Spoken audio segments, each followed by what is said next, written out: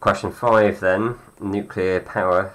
This is one of those ones that students tend to do either very well across the board or not very well across the board. So if you struggle with this, uh, could do with reading up nuclear power in general probably. Uh, let's start off with this. Which of the particles is absorbed and emitted during nuclear fusion fission reaction? Sorry, let's get the terms right. Uh, there it is. There is your answer. Ooh. Wonderful. Uh, it's a neutron. So a neutron comes in, it hits the nucleus, it blows this thing up, the target nucleus. You've got the smaller fission products, also known as daughter nuclei, and you've got these spare neutrons that come off as well. So absorbed and emitted, that's got to be the neutron. Explain the use of a moderator in a nuclear reactor. Um, now I'm going to bring up a diagram of a nuclear reactor. It doesn't necessarily uh, mean that we need it for this particular one, but we'll stick it there for illustrative purposes. The use of a moderator. You need to know the two things really that go on inside the uh, the nuclear reactor. You've got your moderator, you've got your control rods. Control rods tend to be more well understood by students.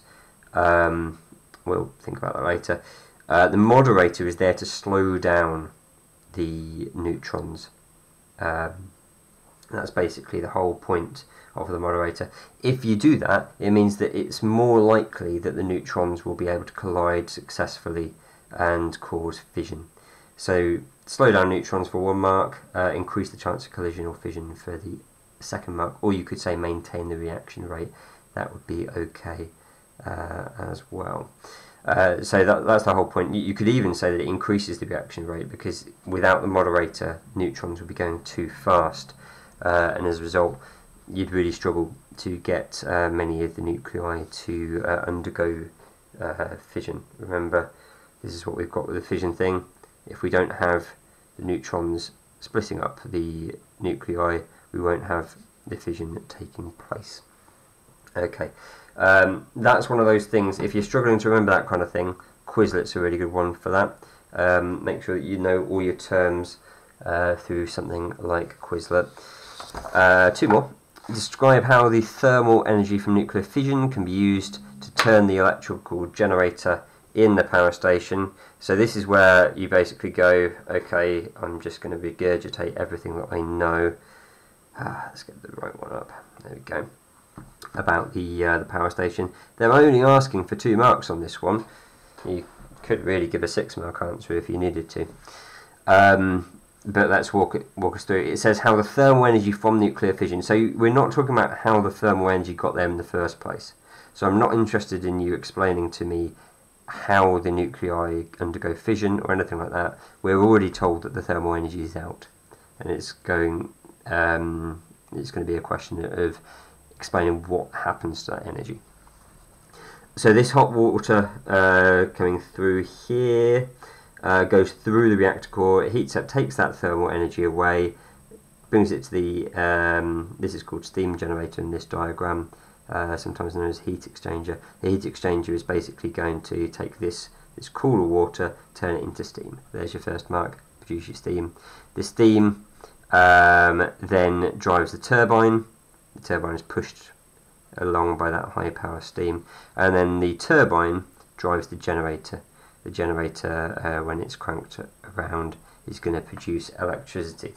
Now, think about it, I've got a feeling they might not actually mention uh, a mark for the steam at all. Oh no, I was right in the first place. Um, creating steam, uh, first mark, steam drives the turbine, second mark. In actual fact, you didn't need to mention it then powered the generator, because I guess it's mentioned in the question anyway, isn't it?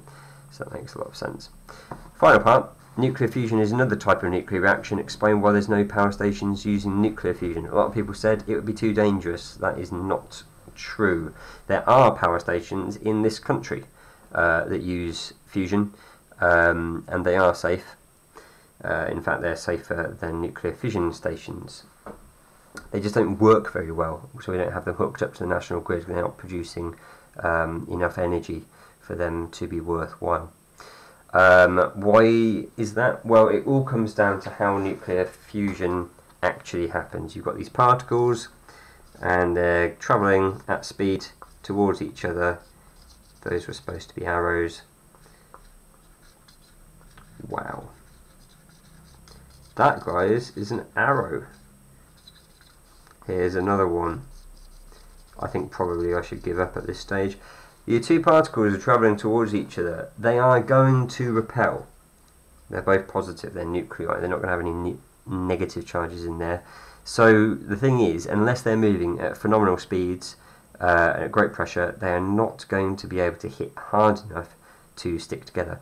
They tend to just bounce off each other.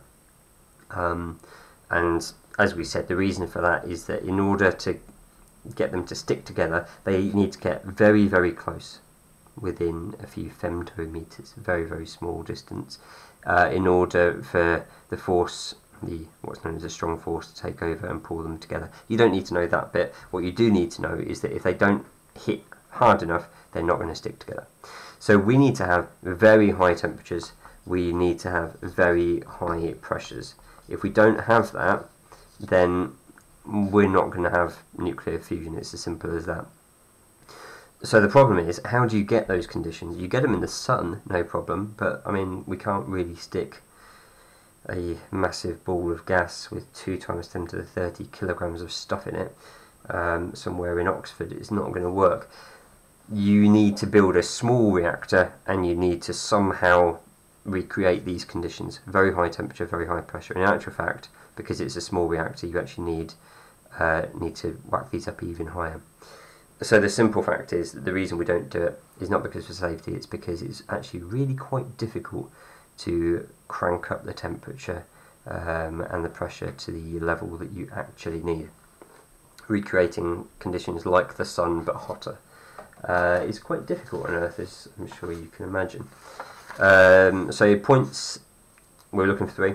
Fusion requires high temperatures and pressures, there's your mark, in order to overcome the electrostatic repulsion of the nuclei. That's what we were talking about there. They're going to push each other away. They're going to need to move very quickly, uh, so that'll work. And currently, we can't do it. So there's your third mark. We are currently unable to maintain these conditions in a commercial reactor. Uh, the commercial bit is in brackets. You didn't need to necessarily say that bit. Uh, what I was saying is that we've done it in experimental reactors, like um, JET, Joint European Torus, um, in the UK, but we haven't been able to do it properly for the national grid.